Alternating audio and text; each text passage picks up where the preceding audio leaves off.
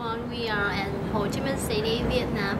We have just finished a technical meeting of the 11th Asian Continental Chess Championship, and now we have changed to interview um, Deputy President of Asian Chess Federation. Uh, hi, Mr. Casto Abundo. Uh, after the technical meeting, do you have any information about the tournament? Can you tell us something about this? We have uh, two events uh, in the Asian Continental Championships, an open division and women's division. But in the open division, women can play. So there are 70 players in the, including one woman from uh, grandmaster from China, and 42 players in the women's division. There are about 15 countries here, and uh, we will play nine round Swiss starting this afternoon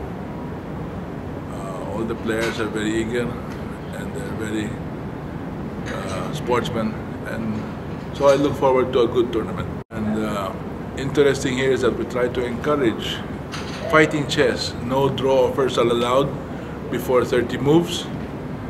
And also uh, we appeal to the players not to make uh, short draws. And I warn them that pre-arranged games will be dealt with according to the loss of chess and of FIDE and can be declared a loss for both players. So we're now we're now choosing the color of board one. Both white.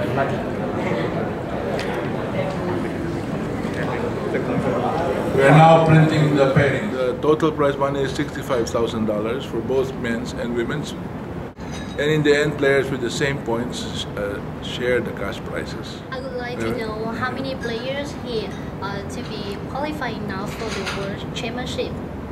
In the open division, five uh, players will qualify to the World Cup, while in the women's, the champion will qualify for championship tournament.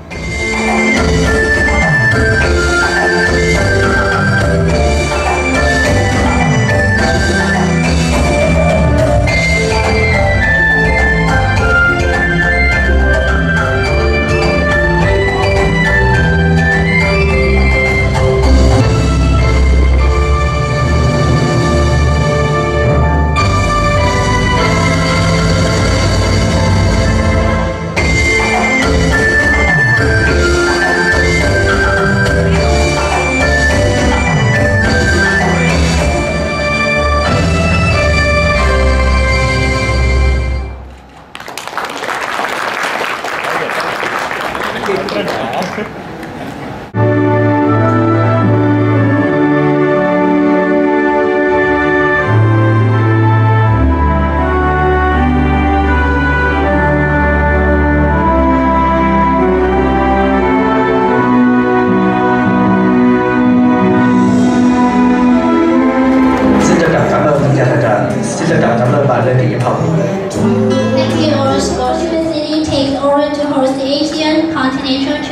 chairman ships